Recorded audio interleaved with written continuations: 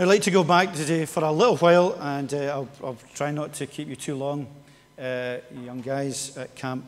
Um, from Exodus chapter 3. Over the summer months, I'm going to look at uh, some of the stories surrounding the Exodus and uh, uh, around Moses. And today we're going to look just very casually, very briefly at the uh, call of Moses in Exodus chapter 3. Now, I've just come back from holiday in the Northwest Highlands of Scotland, and as you can tell from the great tan I've got, the weather there was fantastic. And uh, wasn't indoors much, but one evening I was indoors and uh, watched a film. And the film was called Into the Wild. I don't know if anyone, have, any of you have seen it. Um, uh, I'm not going to tell you the plot really. Well, I'll tell you a little bit because otherwise the story wouldn't make sense. But I'll not give the ending away if you ever want to watch it. Okay? And it's really just about a guy in America who, you know, He's older than you guys at camp. He's gone through school and he's uh, gone through university and he's graduated in law. And his dad's very career minded and really wants him to push on and uh, do all the things that, that he should do as a career lawyer. But he's got no interest and he thinks his dad and mum don't listen to him and he's had, they've been struggling and fighting and it's been a miserable time. And he ends up just leaving, not telling anyone where he's going. Doesn't tell his sister, doesn't tell his friends, anything, just becomes completely anonymous, leaves, because he wants to kind of go around America, discover himself or whatever, and end up having a great adventure in Alaska. Now, I'm not going to tell you what all, he meets a lot of different people uh, in that story. It's based on a, it's a true story, it's based on a true event. But there's a very profound line in the story near the end. Uh, if I'd been organized enough, I might have put it on the screen for you, but I didn't. Uh, and he's not very well at this point, and he's on his own in a caravan in the middle of Alaska. And he writes with very kind of faint and feeble writing because he's weak by this point through illness. Happiness is only real when shared. And he came to that conclusion that while he was looking for all the happiness he could, just doing his own thing, forgetting all his friends and family and, and parents and everything, he realized that happiness is only real when it's shared. And, and that's absolutely right, isn't it? It's absolutely right. See, when you score a goal, or when your team, uh, someone in a famous football team scores a goal, what they usually do they usually all gather round one another because they want to share the happiness of that moment. When Andy Murray won Wimbledon, he went to share that event with, although there was hundreds, hundreds of thousands watching and, and people there, he went to share it with those closest to him because happiness is an event that's shared. And God is a God of love. He's not a big, solitary, lonely individual in heaven who uh, kicking about heaven looking for people to be friends with and to be happy with. So he made the world. It's not like that. God is, is love, and God has this shared perfect happiness. He's had it from all eternity in the complexity of Him being God the Father, Son, and Holy Spirit in this great relationship of shared happiness. He's never been a lonely God, He's never been on His own. And He wants us to know, however you look for happiness, maybe in sport or in careers or in wealth or in whatever it might be, He's wanting us to know that true happiness is only ever found when it's shared with Him, with God. God's so important that only true happiness can be found when we share our lives with Him. But the trouble is, and you'll know this, that sin and pride stops us from sharing our life with God, from putting Him first. You know, He made us. He has every right to be first in our lives, every right to worship Him first thing in the morning, every right to ask for God's advice for everything we do because He's Lord and He's God. But sin and pride stop us. We know I'm going to go my own way. I'm going to find happiness my own way. You know, sometimes it's a bit like a really greedy footballer. Is there nothing worse in the park than a greedy footballer that never passes the ball? I'll just do it my own. Just do it my own. I'm good enough, I'll do it my own. Well, sometimes we can be like that spiritually, really greedy, thinking, well, I can just do it. I can live and I, I don't need God. I don't need to think about God in my life. But He is, the whole of the Bible is about saying, don't think like that. Don't live like that. Don't live without God. Don't think that life without God is fine. He initiates from Genesis, He initiates for us a way back to Himself, a way back to relationship with Him to friendship with Him and to genuine, true happiness. I'm not saying it's the easy happiness. I'm not saying it's the world's happiness. Saying this is true and genuine, God given, eternal happiness, and that makes it very important. And can I just say for you this morning, there's nothing that's more important than responding to the living God, than hearing the living God and responding to Him and responding to His love and His words in our lives. I just want to say a few words about Moses here because God speaks to Moses here in this story story of the burning bush. And he speaks with pictures, pictures are always good, and he also speaks with words. So he speaks with pictures here and he speaks with words. And I want to think about that just for a moment. Or he speaks with a picture. And it's this picture that maybe seems a bit distant to us and we don't really understand anything about it, but it's a, a bush that's in the middle of the desert, kind of maybe not that, probably that big a bush. And uh, we're told that the angel of the Lord appeared to him in flames of fire from within a bush. Moses saw that though the bush was on fire, it did not burn up. Moses said, I will go over and see the sight, why the bush does not burn up. And then, of course, God speaks through that. Now, I don't know if there's anyone here today from Arizona. Sometimes I think there was someone last week from Arizona, but they've had really dry weather. 50 degrees. It's been horrendous. And they've had hugely uh, damaging uh, forest fires. Thousands of acres burnt by uh, the ravages of fire. And here is Moses. And remember, he's in a desert. This isn't, generally speaking, like the West Highlands of Scotland, where everything's lovely and green and luscious. This was in a desert place, tinder dry. And yet, here's this strange thing there's a bush a, a, a small tree and it's on fire. And that is, you know, you think that's, that's a hugely dangerous situation. It could spread all over. But it's contained and it's also not burning up. You know, something, have you ever burnt something on a fire that's really dry? It burns up really quickly, very quickly. Almost set the, la- the match to it and it whoosh, it's away, it's gone. But here's this bush in this desert place. It's dry and it's on fire, but it's not burning up. And there's a picture here of God. He gives a picture of his indestructible energy. He's not burned up, he doesn't tire out, he doesn't fizzle away. He's always there with his great energy. He's a pure God. Fire in the Bible always speaks of purity and righteousness and goodness. And uh, God Himself speaks through the angel of the Lord uh, through it. So there's this picture of God given here. And I think very often we've lost sight of God in that way. You know, we like God as a big cuddly teddy bear. We like God as a Santa Claus figure. We like him as someone that we can pull into our lives every now and again, maybe even sometimes just once a year at camp. I'll just think about God then. And I don't need to worry him about the rest of the year. But here's this great God, the source of all life, sovereign, infinite, powerful, real, absolutely tangible and real, who speaks to Moses. You know, Moses, um, God doesn't exist because we believe.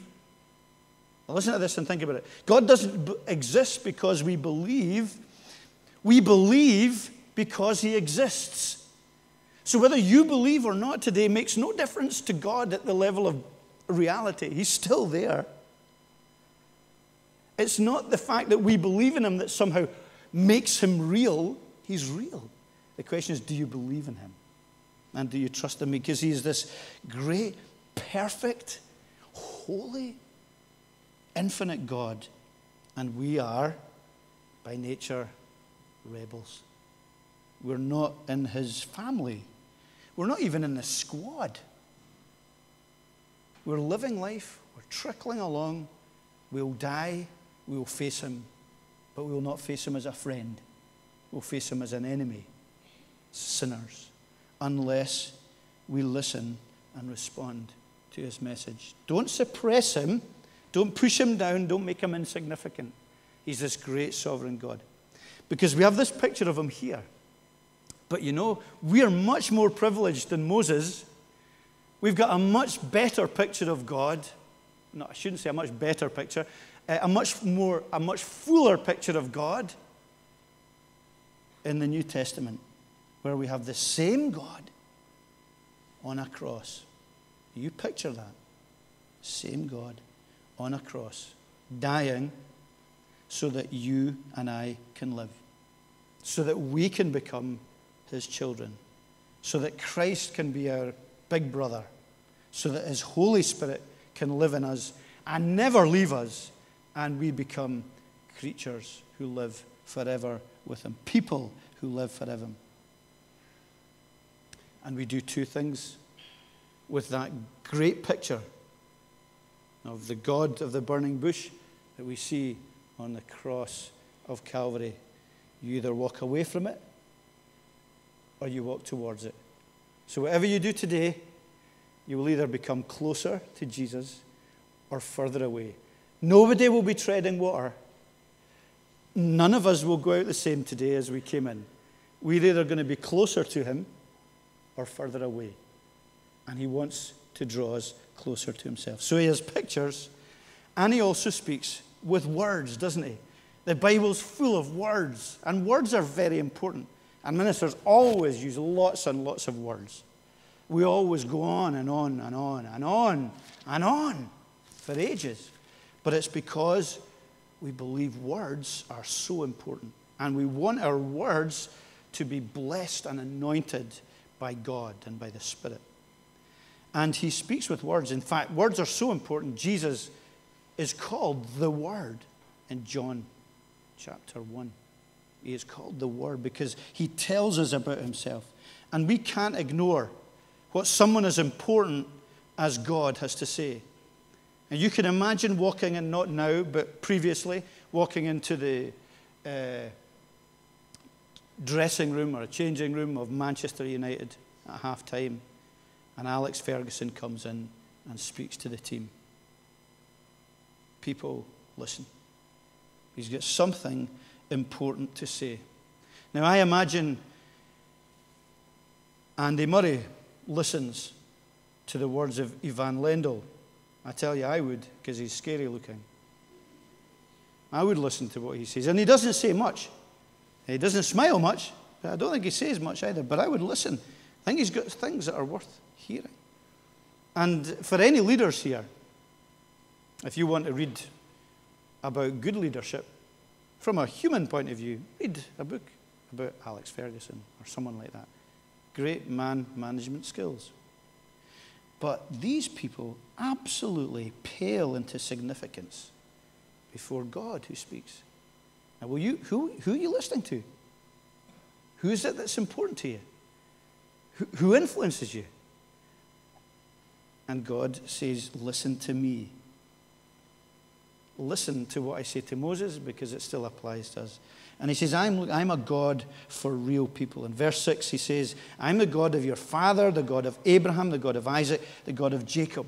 I'm the God of real people. That's what he says. These are not fictional characters. They're not cartoon characters. They're not make believe. These are real characters that Moses knew about. And he says, I'm a God of these real people. And that's the same then as it is now. God is the God of real people. He's God of young lads. He's the God of people here who have put their faith and trust in Him and they know Him and love Him as their own God. Real people. Can I say just a personal word here to the guys? Because the most influential years of my life were the years I went to camp. I didn't have the privilege of going to a football camp as a camper because I'm too old and they, they didn't have them. But I was, at, I've been, I was at the first 10 or so as a leader.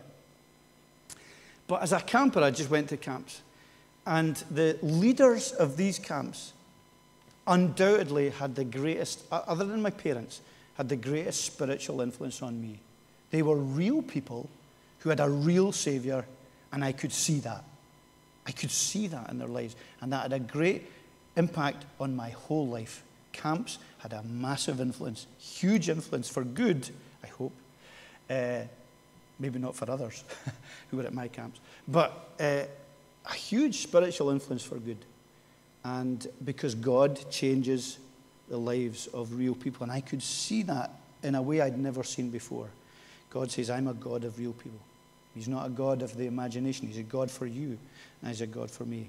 And He says, I have a loving concern for you, uh, for them, and for you. He says, talks in verse 7 about, I have indeed seen the misery of my people in Egypt. I've heard them crying out from their slave drivers, and I'm concerned about their suffering. It's not a beautiful word. I'm concerned about their suffering. The living God. God who reveals himself in this way. He's concerned about the suffering of his people. I have a loving concern. It might not have seemed like it for them in Egypt. They were slaves. Things were very bad. Moses himself might have wondered, what is God speaking about? I've been 40 years in Egypt, and then I've been driven out, and now I've been 40 years in the desert as a shepherd. It's not exactly leadership stuff that's going on. I'm 80 years old. What's God saying that He's got concern? But God is saying, I do. And I said, Trust me. I'm going to deliver you. I'm going to set you free. Now, we have deeper evidence, obviously, in the cross of Jesus Christ. He can't love you anymore. Now, I've got four children. They're all grown up, bar one who's at your camp, Ross. But if I was in a situation where I had to stand somewhere, the front, and someone said to me, It's either you or them. You die or they die. I hope and pray. And I know.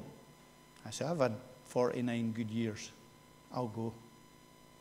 Let them live. That's what I would say. Let them live. And God says, Greater love is no man than this, than that he lay down his life for his friends. Now, I'm doing it because they're my children. I do they're my flesh and blood. But God did that for us while we are still enemies from him. And he is God. That's how much he loves. And that's what you need to consider. And he goes on to say, I have a purpose and a plan for you in verses 8 and 10. I want to bring you into this land that's flowing with milk and honey. I've got a plan and a purpose for you, deliverance and a future. And for every one of us here, he has a purpose and a plan. Now, I don't know what that is.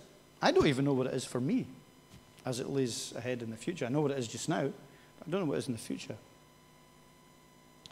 But I can say that his purpose and plan for every believer at a kind of most basic level is to be like Jesus, is to be Christ like. All the leaders, all the campers who trust in Jesus Christ, the kids, everyone who's a member here, everyone who's taken Christ as Lord and Savior, whatever other plans He has for you, however great or not by the world standards, He has a plan that you become as Christ like as He makes you. Now that's tough. That is a tough call. And Moses was afraid of what God's purpose and plan was for him. And it's tough to be like Jesus. Tough as a young boy to be like Jesus. Tough in the football team to be like Jesus. Tough as a leader to be like Jesus. Tough as a minister to be like Jesus. It's tough in your workplace, in your studies, in your unemployment, in the good times and the bad times. Whatever else God has for us, He wants us to be like Jesus Christ. Remember that. Remember that purpose and plan. And that's fearful. And sometimes you're afraid of what Jesus wants, and afraid of what the future holds, and afraid of what might happen. Well, God doesn't mind us being afraid. He doesn't mind Moses being afraid. But he does say to Moses, Look, I will provide for you. I will provide for you. He speaks uh, at the end, and he speaks about his presence throughout it. Verse 9 and then verse 22, he speaks about the material provisions he's going to give them. He's going to give them plunder from the Egyptians to provide for them. He will do the impossible. And that's very significant to remember that He will always provide for us. Now, in the Christian life, which is a race, and with this I'm going to finish, the Christian life can be like, uh, and it's described by Paul as like being a, a race. Now, I know that's different from football, uh, but it's described as being like a race. If you're to run a race, uh, you're in the race, or you're at the start of the race, and you're at the start of that race, and you've got a big woolen jumper on. It might be hot outside, big, thick woolen jumper on, and three layers underneath it. And you've decided that you're also going to take your iPad with you because it might tell you what the temperature's like on the way around and who might be behind you or anything like that. And you also want to wear your favourite hiking boots, boots to run this race because they're comfortable and you've worn them all the time. Big, thick, heavy hiking boots. That's going to make your race very difficult. You're going to be disadvantaged among all the other race uh, people who are racing because you've got all these things that are going to hold you back. And Paul speaks about getting rid of the things that will hold you back in the Christian race, the sins. So you get rid of the sins, you take off the big, thick, woolly jumper, you get rid of the sins that were going to stop you following and serving Jesus. You've got to do it. He will give you the strength to do that. Also, the distractions. You've got to be focused, not with an iPad, focused on the race, focused on the finishing line. And you've also got to wear the right footwear. You can't make the wrong choices. You've got to rely on God and on His Spirit. That's hugely significant.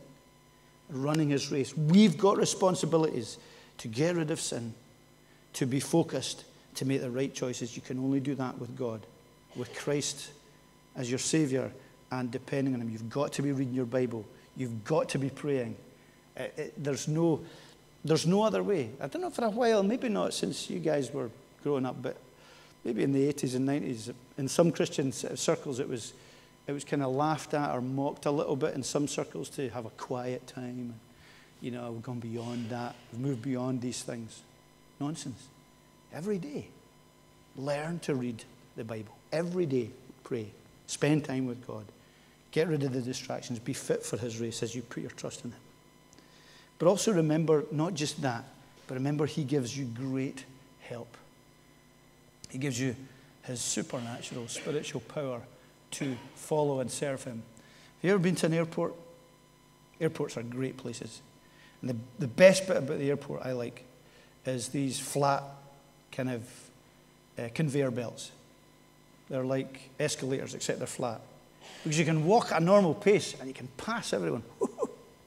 you're walking, you feel like Superman.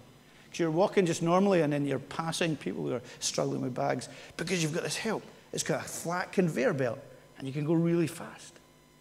Well, when we're following Christ, when we're in His way, when we're getting rid of the distractions by His grace and help, He gives us that strength to be able to walk the Christian walk.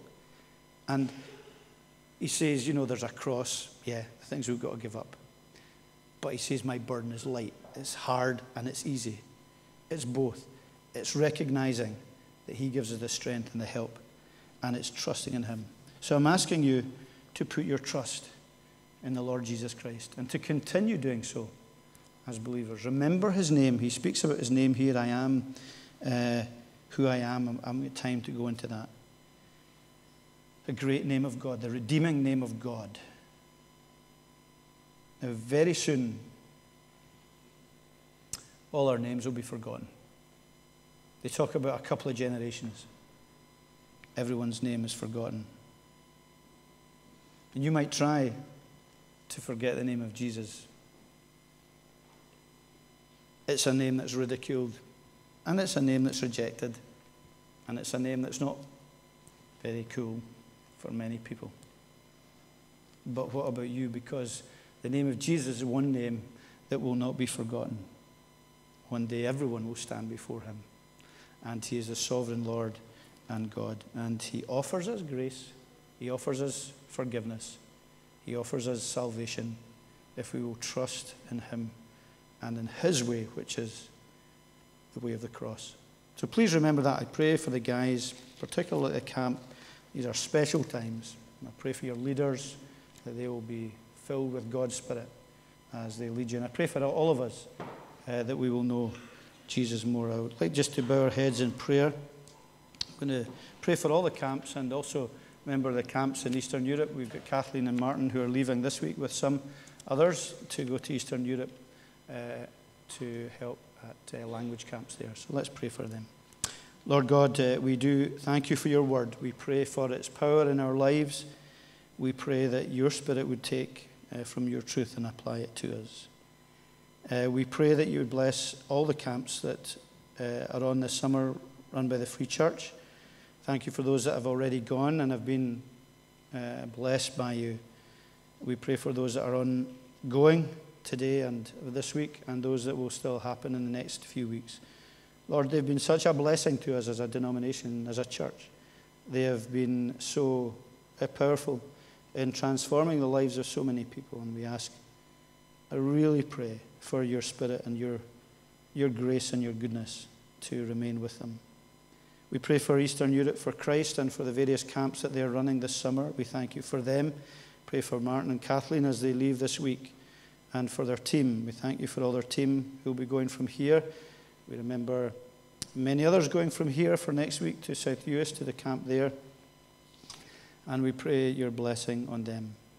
And we do re- remember also today uh, SU camps and for the great work they do and for the number of young people that will be there having fun, having a holiday, but also learning about Jesus Christ. May that be significant and important to them and to us all. Protect us, protect us from the evil one, protect us from our own hearts, and protect us uh, from uh, those who would uh, pull us away from Christ.